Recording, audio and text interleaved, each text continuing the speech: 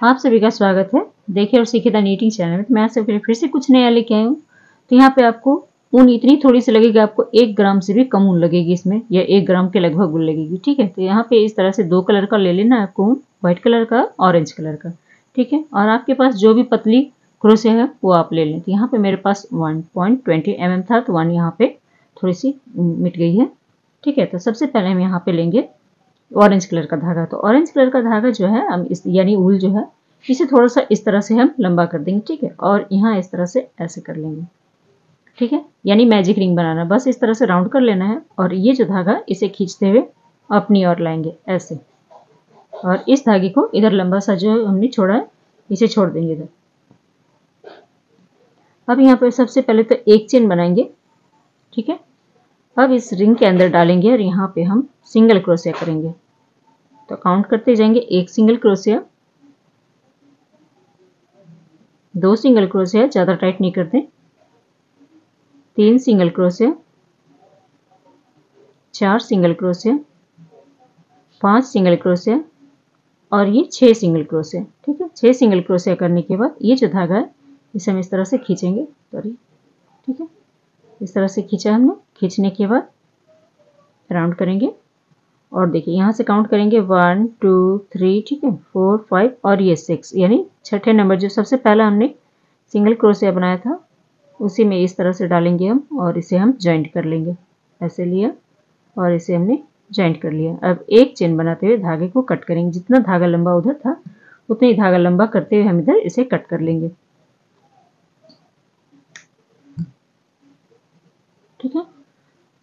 अब इस धागे को हम पीछे की साइड लेके चले जाएँगे। ऐसे, बीच में लेके चले जाना है। ऐसे डाला हमने क्रोसे पीछे साइड से। और ये वाला जो धागा हमने अभी कट किया, इस धागे को नीचे लेके चले जाएँगे। ऐसे। खींच लेंगे अब इसे।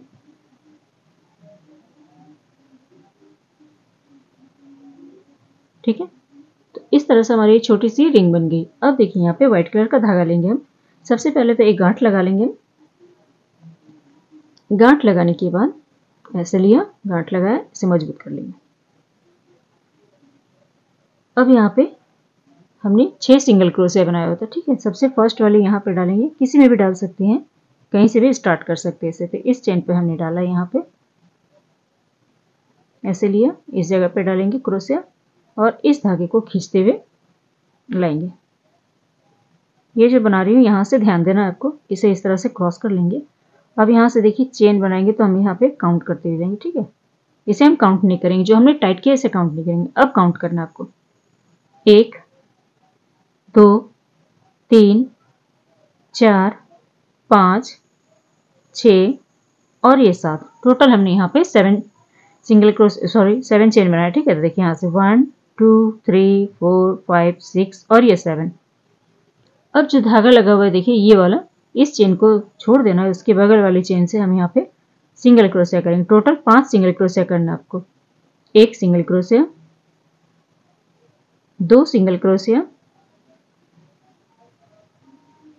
तीन सिंगल क्रोसिया चार सिंगल क्रोसिया और ये पाँच सिंगल क्रोसिया पाँच सिंगल क्रोसिया करने के बाद देखिए अब जो एक सिंगल क्रोसिया हमारा बचा हुआ था छठे नंबर का सिंगल क्रोस है इसे इस तरह से लेंगे और स्लिप करते हुए इस चेन से निकाल लेंगे। और जहाँ से हमने स्टार्ट किया था, जिस चेन से वहाँ भी हम इस तरह से लेंगे और एक स्लिप स्टिच कर लेंगे। ठीक है? इस तरह से बन गई। अब देखिए क्या करना है हमें। एक चेन लेंगे हम यहाँ पे जगह पे एक चेन लेना है आपको। ठीक है? पीछे मुड़ जाएँगे, इस तरह से। ठीक है? ऐसे सीधा से बना रहे थे, यहाँ पे आके ज्वाइंट किया, अब इसे पलट लेना है। एक चेन लिया, अब देखिए, यहाँ पे लेंगे। देखिए, दिख रहा है? यहाँ पे देखिए, इस जगह पे डालेंगे चेन पे, एक सिंगल क्रोसे किया।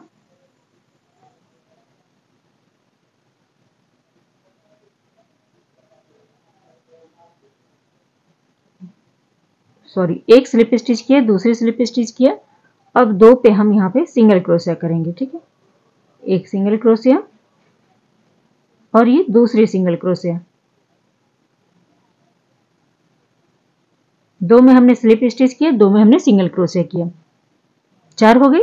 अब जो पांचवा नंबर का चेन आएगा, वहाँ पे हम इसे स्लिप स्टिच फिर से कर देंगे, इस तरह से, ठीक है? अब यहाँ पे हम चेन बनाएँगे एक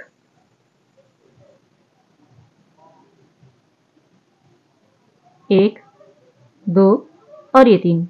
इसे चेन को आपको लूज नहीं बनाना है। अब इस तरह से फिर से पलट लेंगे। जहाँ से हमने सिंगल क्रोशे किया हुआ था, इस जगह पे लेंगे और फिर से हम इसे उसी जगह पे डालेंगे और इस चेन से निकालेंगे यानी कि फिर से हमें स्लिप स्टिच कर लेना है। तो देखिए दोनों साइड दो कोने निकल के आ गए हैं। अब यहाँ से जितनी भी हमने चेन बनाई थी स्लिप स्टिच किया हुआ था या सिंगल क्रोसे सब में एक एक साइड से चेन वाली लेंगे और स्लिप करते हुए नीचे जाएँगे। एक बार स्लिप किया दूसरी बार स्लिप किया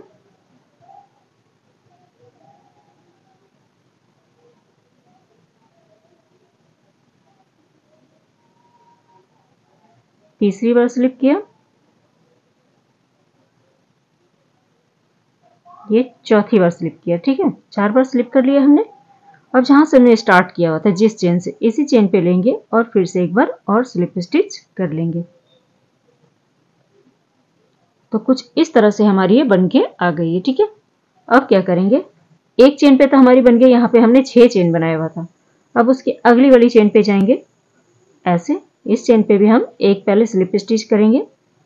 इसके बाद फिर से हम यहाँ पे एक, दो, तीन, चार, पाँच, छ और ये सात, यानी सेवन चेन हमने बना लिया यहाँ से यहाँ तक।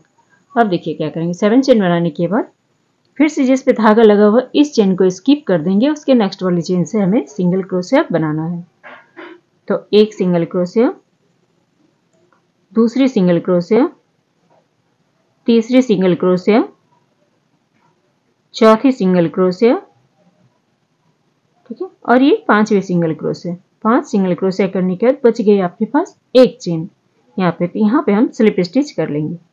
ठीक है? स्लिप स्टिच कर लिया अब जिस चेन से हमने स्टार्ट किया था, उसी चेन पे फिर से डालेंगे और स्लिप स्टिच कर लेंगे। चेन वन लेंगे, यानी एक चेन लेना है, फिर से इधर पलट जाएँगे, उल्टे साइड अब यहाँ पे देखिए, पहली बार स्लिप स्टिच करेंगे। काउंट कीजिएगा। एक स्लिप स्टिच किया। दूसरी वाली चेन पे जाएँगे। दो स्लिप स्टिच किया। अब दो पे हमें सिंगल क्रोशिया बनाना है। एक सिंगल क्रोशिया और उसकी अगली वाली पे फिर से सिंगल क्रोशिया ठीक है? इस तरह से हमने दो स्लिप स्टिच किया, दो सिंगल क्रोशिया अब जो पांचवा नंबर का चेन आएगा, उस पर हमें स्लिप स्टिच फिर से कर देना है। इस तरह से। अब यहाँ से तीन चेन लेंगे। एक, दो और ये तीन। इस चेन को टाइट करेंगे, ज़्यादा लूज नहीं करेंगे। अब इसे फिर से अब सीधा तरफ़ ले लेंगे, जिस तरह से सीधा दिशा है। अब यहाँ से देखिए क्या करेंगे, जहाँ से हमने इसे स्लिप करते हुए ज्वाइंट किया इसी चेन पे डालेंगे और स्लिप कर लेंगे ऐसे। ठीक है? स्लिप कर लिया। अब यहाँ पे डालेंगे। स्लिप करने के बाद फिर ये दूसरा स्लिप हो गया। फिर यहाँ पे डालेंगे। तीसरा स्लिप स्टिच हो गया।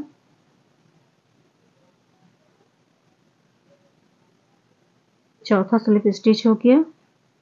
फिर यहाँ पे डालेंगे। पांचवा स्लिप स्टिच हो गया।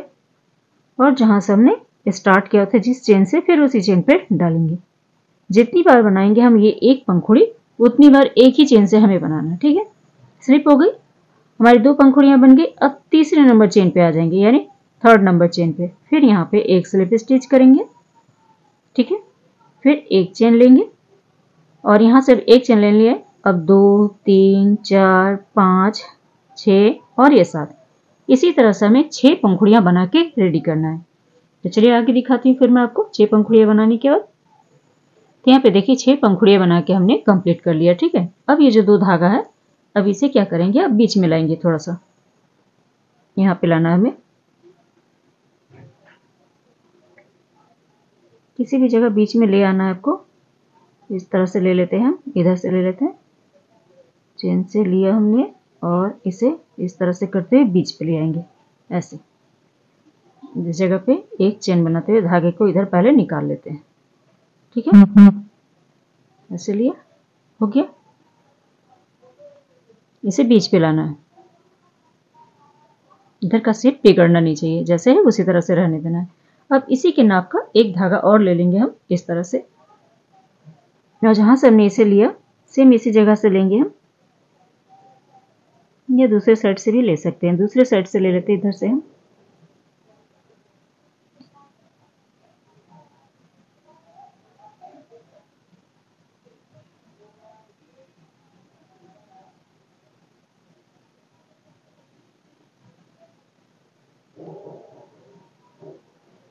ऐसे लिया और इसे इस तरह से निकाल देना और इसे बराबर कर लेंगे।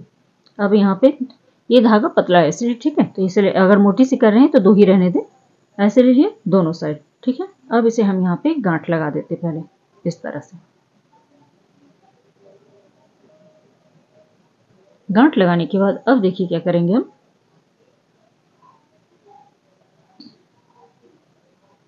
इस तरह से अब देखिए क्या करेंगे। दो धागा, एक धागा नीचे साइड है, एक धागा हमने उंगलियों के बीच में रख लिया। अब ये जो धागा, नीचे वाला धागा, हम कुछ इस तरह से ऐसे रखेंगे। ठीक है? देखिए। ऐसे लिया। क्रोशिया को बीच में रखना है, नीचे वाला धागा को आपको इस तरह से लेना है। ऐसे। अब देखिए, अब क्या करेंगे? इस क्रोशिया को बीच में रखा इस तरह से। अब जो नीचे का धागा, इसको इसके ऊपर से इस तरह से फोल्ड कर देना है। ठीक है?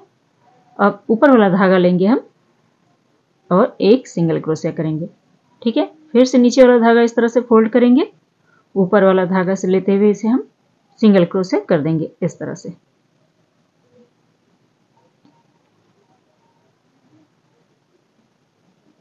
थोड़ा सा इसे टाइट करना है आपको। फिर से इस तरह से हम फोल्ड करेंगे, ठीक है?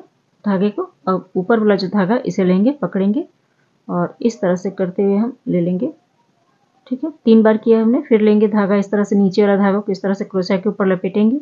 और इन दो धागों को फिर से निकालेंगे, फिर क्रोशिया के ऊपर एक बार फिर से लपेटेंगे और ये दो धागे इसके ऊपर से निकालेंगे, फिर एक बार लपेटेंगे और इन्हें इन दो के ऊपर से निकालेंगे, ठीक है? एक बार और कर लेती हूँ मैं यहाँ पे। इस तरह से। अब यहाँ पे क्या करेंगे? इस धागे से लेंगे और एक गांठ लगाते हुए यहाँ पे धागे को हम यहाँ पे कट कर लेंगे। ऐसे लिया। दोनों धागे निकाल लेना आपको, इधर से भी और इसे भी। और इस तरह से करते हुए हमें यहाँ पे टाइट कर लेना है। मजबूती से, चाहे तो एक गांठ और लगा ले, यहाँ पे धागे को कट कर लेंगे हम। अब धागे को कट करेंगे हम। अब देखिए, इस तरह से हमारी ये हर श्रृंगार के फूल बनके रेडी हो गए, ठीक है? कुछ इस तरह से। अब हम यहाँ पे इसमें देखते हैं कि कितनी ग्राम उल लगी है। ज़ीरो दिख रही है आपको? इस फ्लावर को यहाँ पे रखेंगे। देख सकते हैं इसमें ज़ीरो ग्राम उल लगी। एक जरा भी इसमें कोई भी इसमें नहीं काउंट हो रहा। फिर से दिखा देती हूँ आपको। इस तरह से लेना है आपको। यहाँ पे ज़ीरो दिख रही इस फ्लावर को यहाँ पे रखेंगे हम। ज़ीरो के ज़ीरो ही है। ठीक है? तो देखिए, इसी तरह से आपको ये एक ग्राम में एक फ्लावर बन जाएगी। एक ग्राम से भी कम। ठीक है? तो कितनी प्यारी और कितनी खूबसूरत लग रही है। देखिए। तो उम्मीद करती हूँ कि आज का ये आपको ये डिज़ाइन और ये फ्लावर पसंद आया होगा तो पसंद आया होगा तो प्लीज़ वीडियो को एक लाइक कर दें। तो मिलते हैं कुछ न्यू वीडियो के साथ। Thank you.